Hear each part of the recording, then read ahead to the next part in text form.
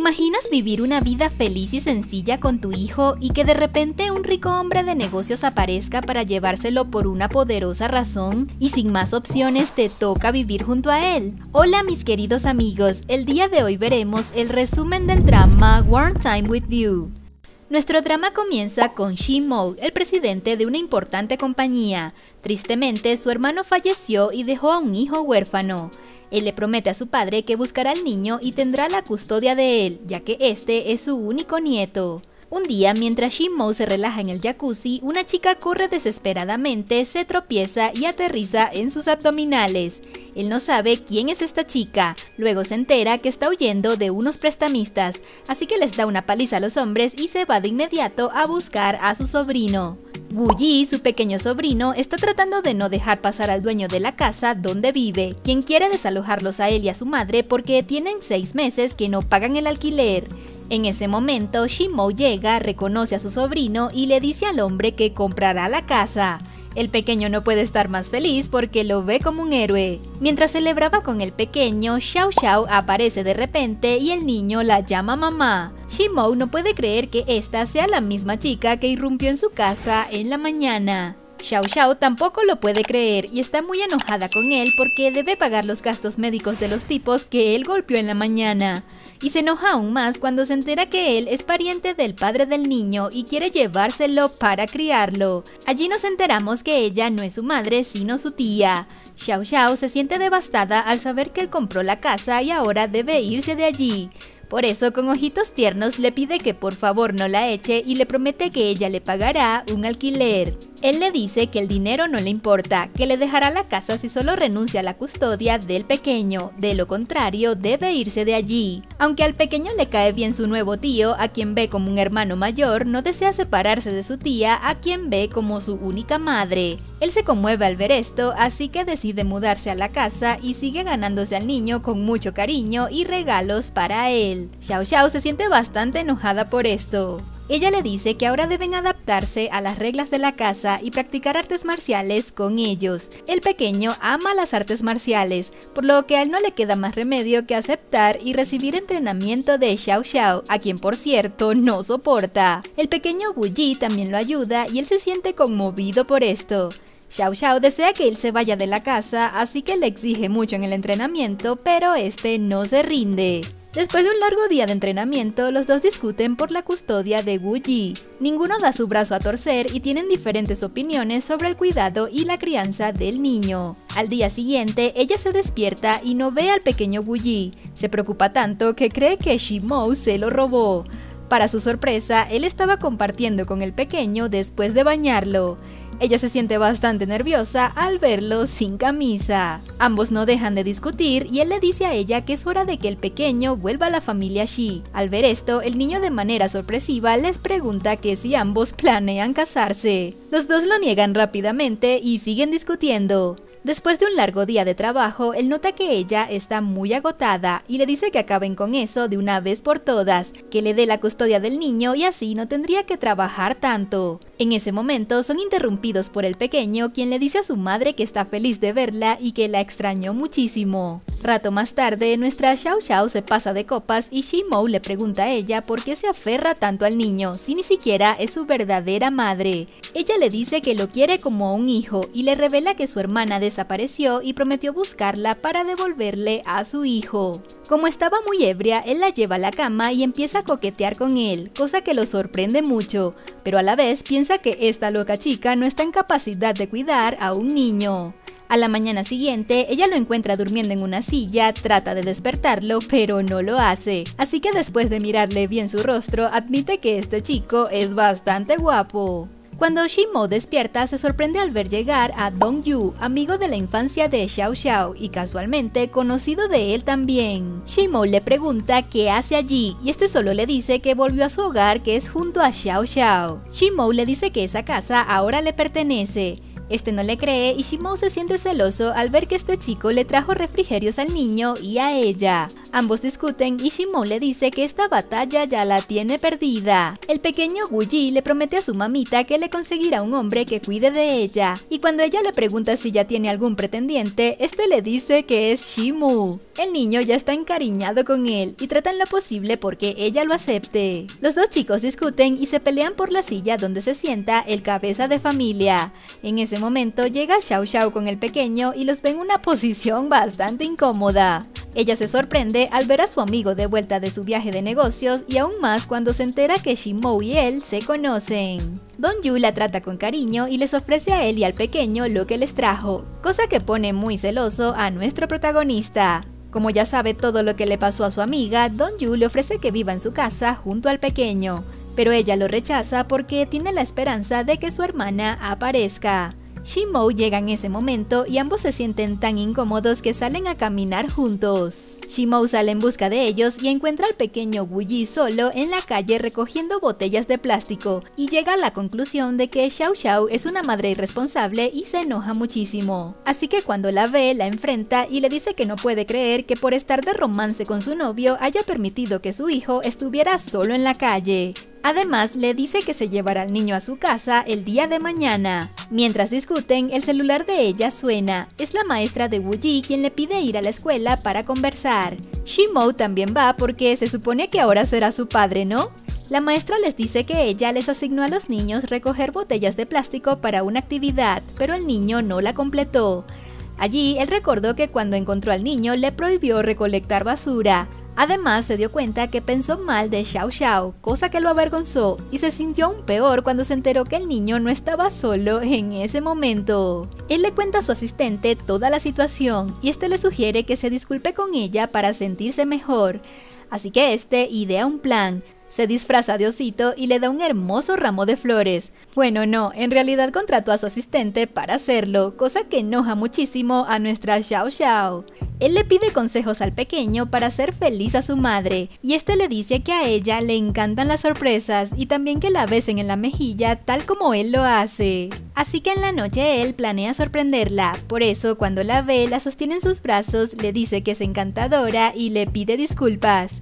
Ella muy nerviosa las acepta y se va corriendo del lugar. Él no puede creer que haya sido tan fácil pedir disculpas después de todo. Ella se siente confundida y a la vez ilusionada porque piensa que él se está empezando a enamorar de ella. En ese momento su mejor amiga la llama y conversan sobre todo lo ocurrido. Ella termina borracha y cuando llega a casa Shimou la estaba esperando mientras veía una película. Al verla tambaleando, él la toma en sus brazos y ambos se dan un súper romántico beso. Ella despierta al día siguiente besando a su osito de peluche. Parece que solo fue un sueño. De repente, la madre de un compañero de clases de Wuji llega a su casa reclamando que el pequeño golpeó a su hijo en la escuela, así que les pide una gran suma de dinero para los gastos médicos de su hijo. La amiga no puede creer esto y le dice que esta mujer seguro está mintiendo para obtener algún beneficio y no cree que el niño sea capaz de algo así. Y sí, cuando Shimou habla con el pequeño, este le dice que el niño lo estaba molestando y cuando este lo iba a golpear, él lo esquivó y por eso se cayó y se lastimó el brazo.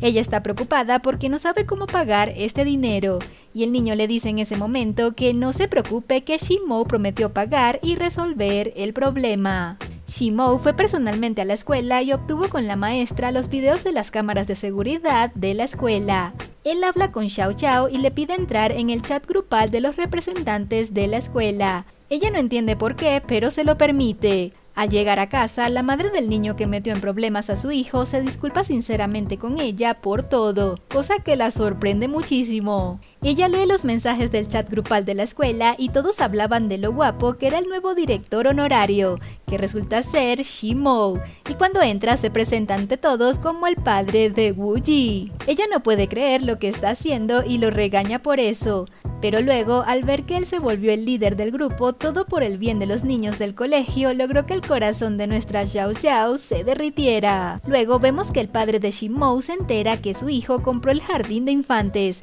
Ya entendemos por qué todos lo llaman el director honorario. Como Xiao Xiao está tan contenta, prepara una deliciosa cena. Sin embargo, de manera inesperada, nuestro galán le acaricia la cabeza, cosa que pone muy nerviosa a Xiao Xiao. Para completar su incomodidad, el niño empieza a decir que su madre ha estado hablando muy bien de él y le dice que su deseo es que él sea su padre.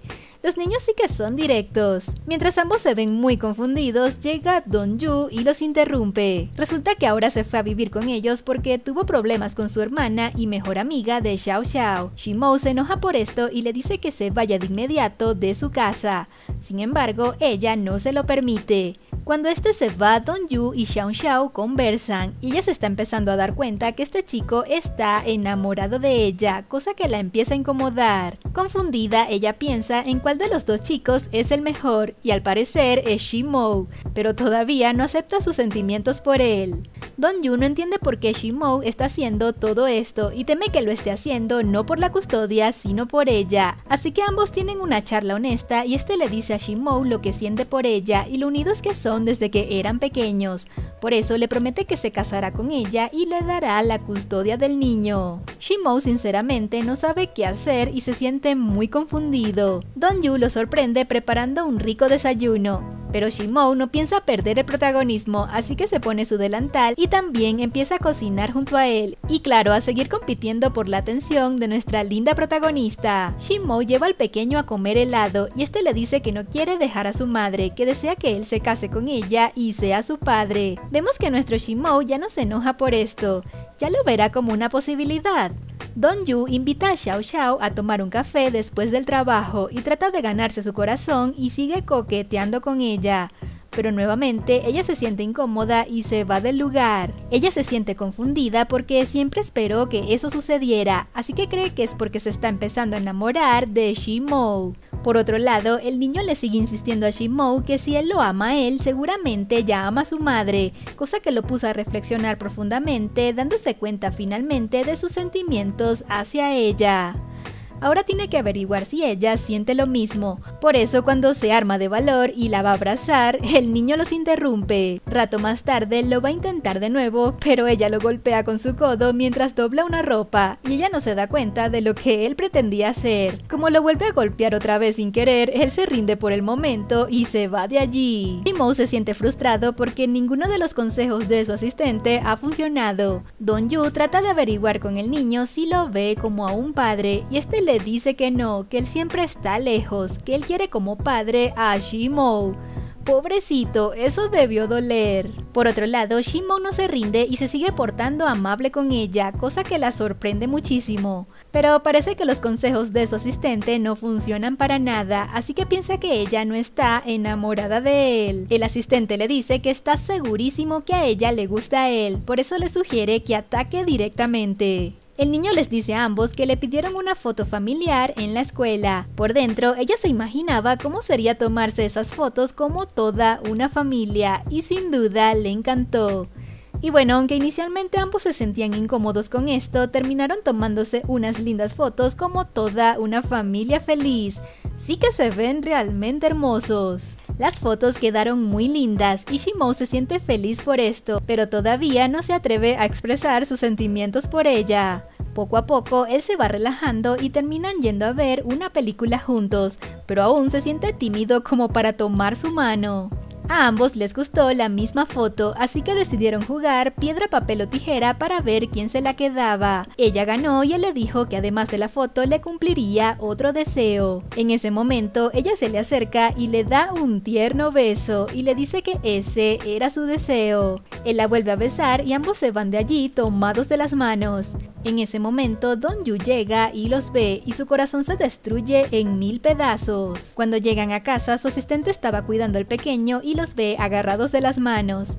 Cuando ella se va, él le dice que nunca tuvo dudas de que ella estuviera enamorada de él. Por otro lado, alguien les tomó fotos cuando se besaron y el padre de Shimou los ve y se enoja muchísimo por esto. Por eso ahora no confía en él para recuperar a su nieto.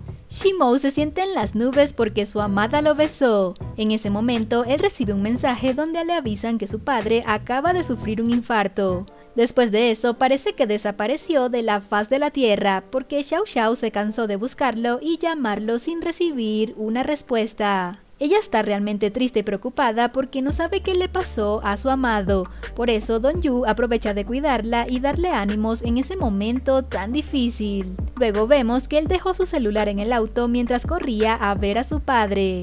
Después de muchas horas de espera y angustia, Don Yu llega y le avisa a ella que alguien se llevó al pequeño Wu Ji del jardín de infantes. Resulta que la familia Shi se lo llevó y ella se enteró por las noticias de esto. Resulta que después que el abuelo pasó el peligro, se llevaron al niño para que lo viera. Shimou se sentía mal porque no le avisaron nada a Xiao Xiao, cosa que enojó mucho al abuelo. Xiao Xiao fue a buscar al pequeño a casa del abuelo. Shimou la recibe pero le dice que el abuelo aún está delicado y desea que el pequeño se quede más días con él. Xiao Xiao se siente realmente deprimida porque piensa que esa familia le quitó a su pequeño hijo y su objetivo es alejarlo de ella. Ahora su vida no tiene ningún sentido. Ella se siente traicionada y triste porque tanto el amor de su vida como su hijo ya no están. Así que ella deambula por las calles sin rumbo fijo. Pobrecita. Ella decide ahogar sus penas en alcohol. Lo que más le duele es que su pequeño bebé ya no está con ella. Ella se queda dormida. Don Yu llega y trata de ayudarla, pero ella no deja de nombrarlo Shimou y le dice que es un ladrón y mentiroso. En ese momento Shimou estaba allí y vio y escuchó todo. Tenía el corazón destrozado. Y su asistente le decía que deje de ser tan cruel con ella, que ya es suficiente. Su asistente me cae muy bien. Don Yu lleva a casa a Xiao Xiao y la cuida. Le rompe el corazón verla así, así que le promete protegerla y no permitir que le vuelvan a hacer daño. El abuelo está haciendo todos los trámites para quedarse con el niño, por eso envió a su asistente a casa de Xiao Xiao para que ella firme un documento donde renuncia a ser la madre del pequeño, cosa que la enoja y rechaza de inmediato. Pero el hombre le dice que lo piense bien porque si no firma perderá la casa. Ella no puede creer que Shimou sea tan cruel. Don Yu ve esta situación y le duele, así que se le ocurre una idea para que ella no pierda la custodia de su hijo, y es casarse con ella. Así que compra un gran anillo para proponerle matrimonio. Xiao Xiao habla con su pequeño por videollamada y le promete que pronto estarán juntos. Por otro lado, Shimou se entera de los planes de su padre y amenazas para quitarle el niño a Xiao Xiao, Además, se entera que Don Yu le va a proponer matrimonio. Cuando ella llega a casa, Don Yu la estaba esperando. Le dice que recuperarán al pequeño si se casa con él. Por eso, cuando le va a proponer matrimonio, Shimo llega y la abraza muy fuerte y le dice que la ama. Además, le promete que el pequeño estará bien. Después nos enteramos que el abuelo malvado quería la custodia de Wu porque el 20% de las acciones de la empresa le pertenecían al fallecido padre del niño y él quería quedarse con estas. Así que cuando su hijo lo enfrenta por esa sucia jugada, este le dice que ya es demasiado tarde, que ya los trámites están hechos. Mientras el viejo estaba dando una entrevista a los medios, llega Shimo con su amada y el pequeño, y dice ante las cámaras que la custodia del niño nunca se la dieron a su abuelo porque el padre del niño sabía que él no quería a su nieto y que solo le importaba el dinero. Luego nos enteramos que él pensaba proponerle matrimonio el día que a su padre le dio el infarto. Por eso, ahora que ya todo está calmado, él está listo. Así que le dice que la ama y que promete protegerla, y se arrodilla como todo un príncipe y le pide matrimonio. Y así termina esta historia de amor con nuestra linda protagonista aceptando ser su esposa y siendo feliz al lado del hombre que tanto odiaba pero que ahora ama con todo su corazón. Y claro, con su pequeño llamado hijo Guji que los interrumpe cada vez que se van a dar un beso, pero terminan solucionando con la ayuda de sus amigos. Wartime With You es un drama chino del año 2022 que te atrapa de principio a fin. Esta serie de tan solo dos horas de duración nos enseña que para llamarte padre o madre no necesariamente debes tener hijos de sangre. Los padres son aquellos que crían, cuidan y educan a sus pequeños con amor. Por eso si te gustan los dramas románticos y con un final feliz, esta serie es sin duda la indicada para ti. Si eres fan de los K-dramas y te gustaría seguir viendo videos como este, no olvides suscribirte y darle like para que no te pierdas los estrenos de los próximos videos.